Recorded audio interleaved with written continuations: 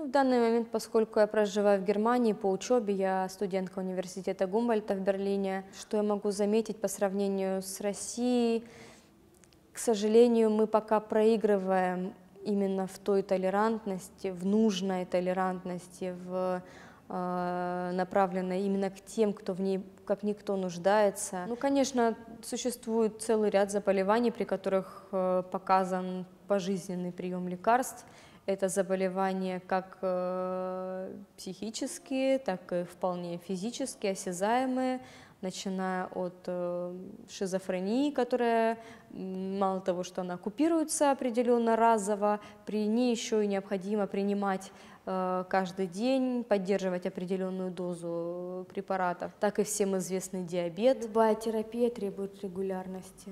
Это один из основных вообще постулатов, будь то лечение ОРВИ, будь то лечение раковых заболеваний, онкологических заболеваний в целом. Не зря люди ложатся в больницу, не зря им подается лекарство. Дело не в том, что заболевание серьезное или несерьезное, и не в том, что доктор злой или не злой, а в том, что спустя некоторое время концентрация препарата в крови или в плазме падает. Ее нужно поднимать опять чтобы действие препарата было непрерывным. Только таким образом сможет быть достигнут терапевтический эффект.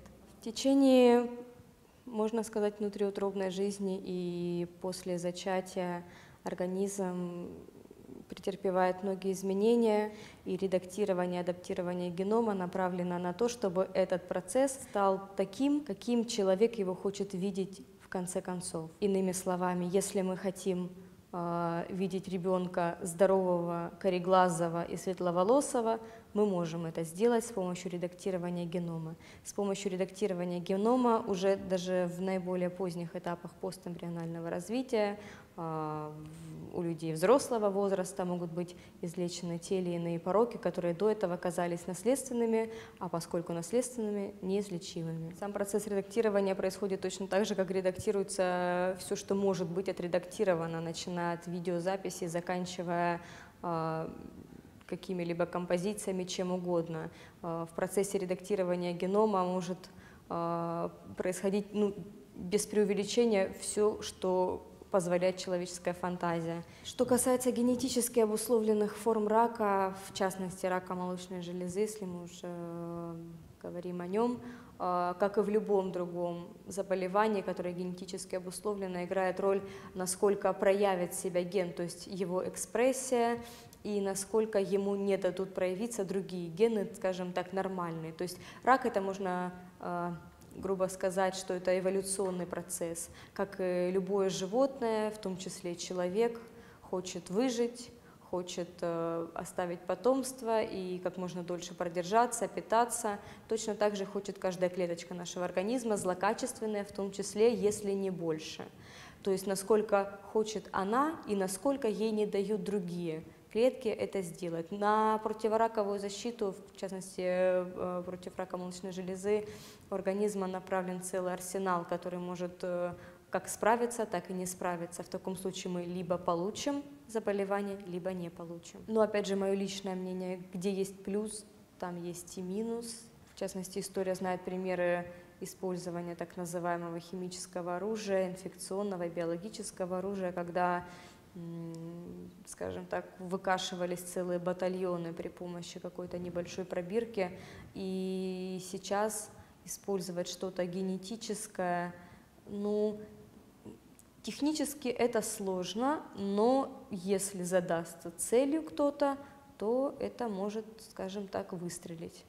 В частности, был такой небезызвестный доктор Йозеф Менгеле в концлагерях, который проводил опыты на близнецах, он э, отбирал среди вновь прибывших детей, э, искал из них близнецов, затем он искал тех, кто абсолютно одного роста, расстреливая остальных, потому что они ему не понравились.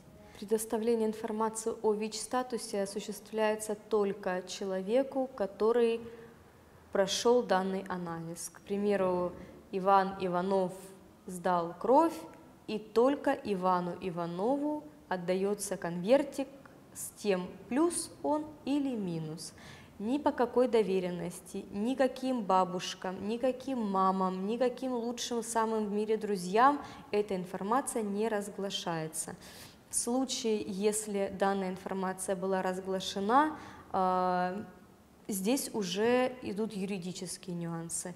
Либо а, неразглашение данной информации могло привести к ну, допустим, статье 153, то есть это оставление в опасности со смертельным исходом, если такой был повлечен, либо же это просто нарушение врачебной тайны, и тогда виноват уже доктор.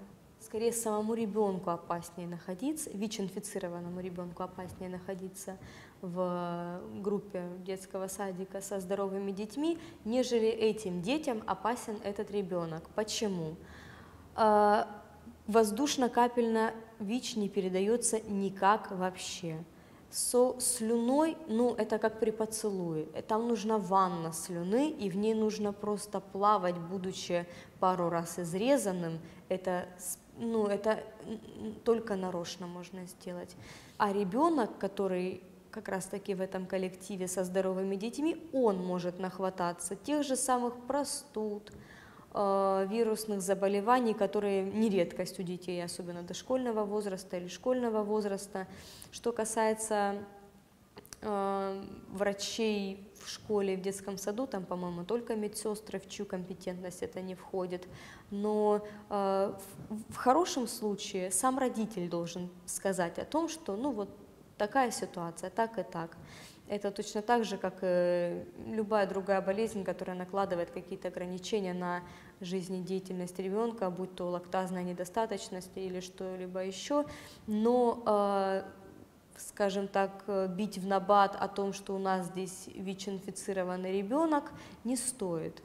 Просто хотя бы исходя из того, что это дискриминация. Что касается правовых аспектов, здесь все намного проще. Есть такое понятие, как медицинская этика. И если мы возьмем средний 8 Б-класс, в котором э, Маша Иванова заболела туберкулезом, что мешает классному руководителю сказать, то, что, дорогие родители, у нас с вами очаг туберкулеза, и мы с вами должны все пройти проверку, диспансеризацию и так далее и тому подобное. Зачем говорить, что это была Маша Иванова, и зачем подставлять ребенка под вот этот артобстрел, когда ребенку можно сказать лично и его законным представителям, родителям или опекунам. То же самое и с ВИЧ.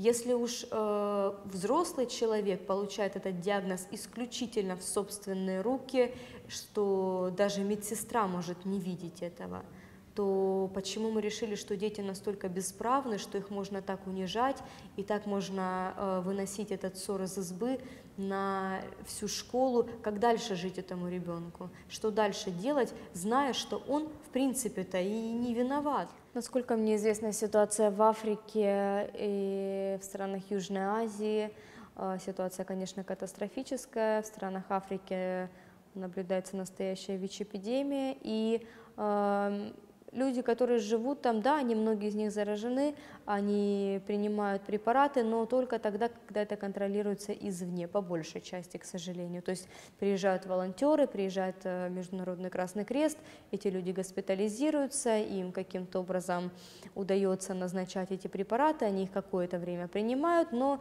стоит уехать, э, скажем так, тем, кто за этим следит, и все быстро заканчивается, потому что, во-первых, нет денег на то, чтобы это все приобретать, а если есть то, что было куплено, скажем так, подарено волонтерами, нет особого времени, эти люди озабочены абсолютно другими проблемами, они выживают, они размножаются, им не до приема по часам. То же самое и в, например, Индии, в других густонаселенных э, странах. Россия приближается, кстати, к данным странам, потому что в России уже сейчас тоже ВИЧ-эпидемия, которой мало кто хочет слышать. Мне кажется, люди просто боятся иногда открыто говорить об этом.